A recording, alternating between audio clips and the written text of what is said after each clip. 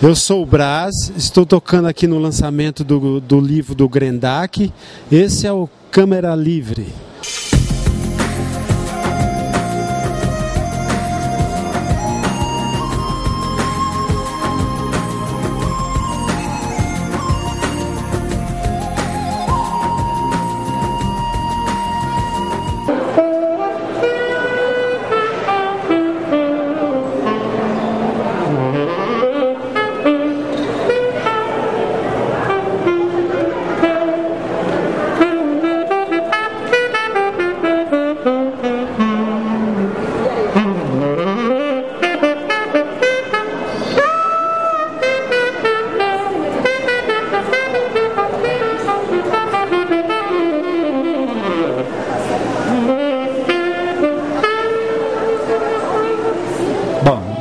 Eu estou aqui no lançamento do livro do Uma Lição de Vida e eu acho incrível, né? Porque quando nós chegamos à conclusão de escolher essa capa aqui, é, foi uma coisa incrível porque o tema do livro seria uma coisa meio triste, mas o tema da capa é uma coisa muito alegre, entendeu?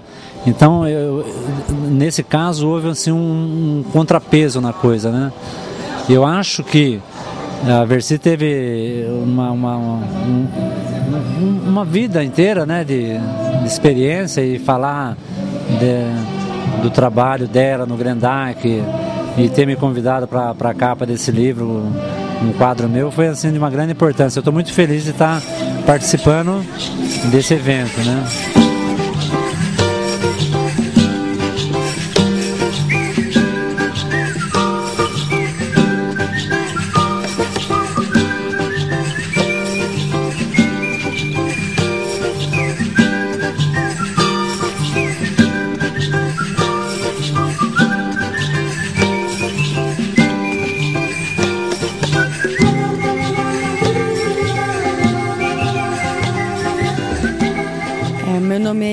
Eliana Benites, eu sou oncologista pediatra e trabalho aqui no Grendac. Hoje eu vou falar um pouquinho sobre o meu trabalho e sobre o trabalho do Grendac. Então aqui o Grendac é uma uma instituição sem fins lucrativos, é uma organização não governamental. Aqui a gente é, proporciona para crianças e adolescentes de 0 a 19 anos um tratamento para câncer e doenças hematológicas crônicas.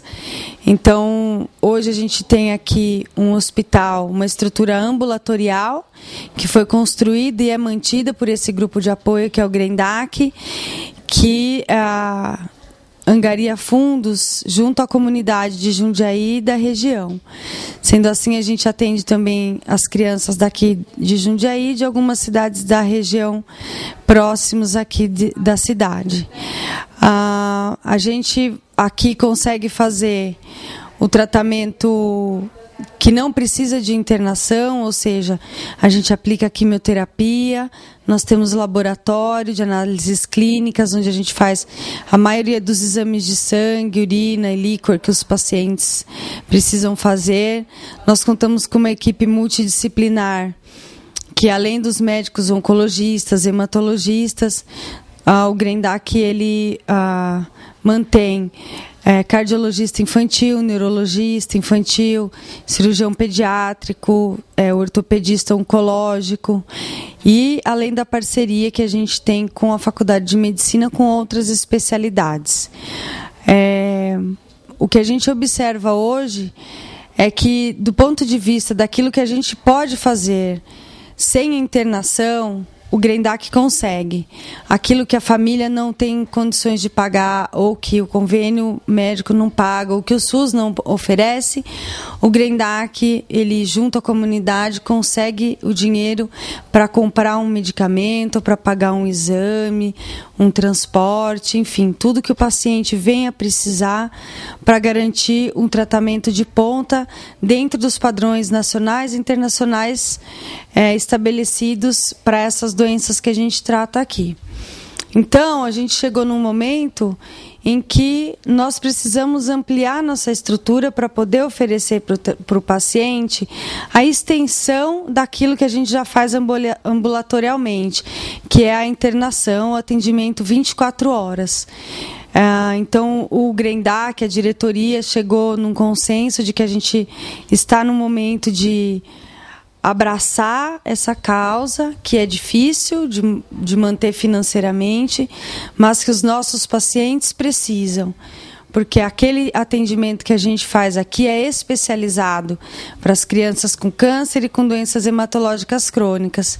E hoje, quando a gente precisa de uma internação, a gente acaba precisando lançar mão dos hospitais da cidade, que não são especializados, apesar de muito bons, e contando com a ajuda dos colegas pediatras dos outros hospitais e os profissionais de saúde de outros serviços sob a nossa orientação. Porém, os nossos pacientes esperam muito mais. Eles esperam que a gente, ah, enquanto instituição e como profissional que está determinando o tratamento deles, que a gente ofereça esse atendimento 24 horas, para que eles se sintam seguros.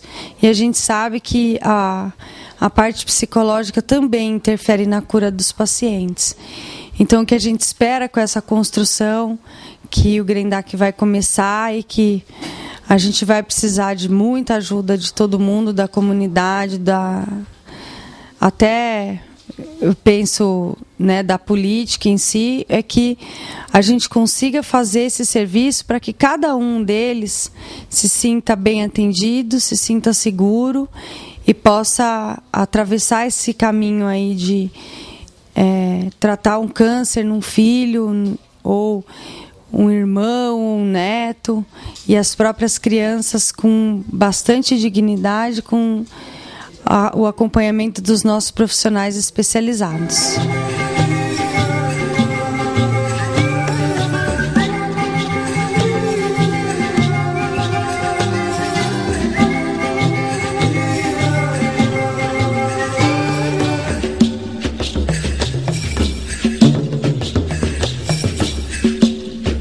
Meu nome é Gilberto, eu sou gerente de operações do Grendac. Eu estou aqui para apresentar a todos vocês a ampliação do Hospital Bolívar Risso. A obra que vocês estão vendo é onde vai, a, vai vir toda a área administrativa, o sistema telemarketing, a parte de almoxarifado, para que nós possamos, na área onde é ocupado esses setores, se transformar em, em centro cirúrgico, UTI e internações. Esta obra está orçada em 590 mil reais.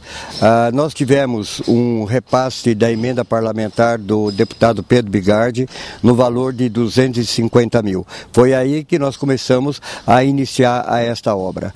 Ah, ainda estamos em fase de acabamento na parte de piso, pintura, forro e nós necessitamos muito de toda a população de Jundiaí que possa nos ajudar no término desta obra.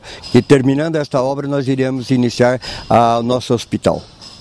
É, eu queria salientar também é, que além desse repasse do, da emenda parlamentar de 250 mil, nós estamos tendo muito apoio de empresas, é, de pessoas físicas. É, para ter ideia a todos vocês, todo o tijolo foi doado pela empresa Nivolone. Eu não gosto de falar nome porque talvez eu esqueça alguns, mas esta obra volta a falar que além da emenda parlamentar, está tendo essa, essa ajuda uh, de empresas e também as pessoas físicas através do telemarketing, através dos eventos, que tudo hoje que é feito pelo Grendac, ele está direcionado a esta obra. Então eu tenho que só agradecer a todos esse povo e, e, eu, e a luta ainda é, tem muita coisa para frente ainda. Né? A, a, a, o aumento do hospital ele está orçado cerca de 3 milhões de reais, uh, não só de construção civil, como também dos equipamentos que vão ser necessários para o centro cirúrgico, para a UTI. Mas o Grendac tem certeza que o ano que vem, em meados de julho, nós iremos iniciar a construção do nosso hospital, tão esperado pela população de Jundiaí região e pelos, principalmente pelos pais das crianças que se tratam aqui no Grendac. Que a internação fora do nosso espaço dificulta muito o nosso tratamento. O Grendac, neste ano de 2010, comemorou 15 anos. Então, realmente, para nós, foi um ano que nós pudemos agradecer cada vez mais as pessoas que colaboraram para que nós pudéssemos dar tratamento digno a crianças e adolescentes em atendimento aqui no Grendac. Foi um ano de, de muita luta, uma vez que nós acabamos de sair de, de uma fase bastante complicada, uma fase que pegou a maioria dos segmentos no Brasil através da, da famosa crise, mas que para nós realmente acabou uh, sendo um ano de sucesso. E então, para contar tudo isso, nós aproveitamos então esse livro, que já está à venda em alguns pontos, eh, na Casa das Letras, no Bazar Permanente do Grendac, no ateliê do, do nosso amigo Pedro Sabiá, a um custo de 20 reais. Então, nós aproveitamos, inclusive, para convidar as pessoas que conheçam um pouco mais da história do Grendac, adquirindo esse livro. E, mais uma vez, o nosso muito obrigado pelo apoio que a comunidade de Jundiaense acabou nos oferecendo durante mais esse ano.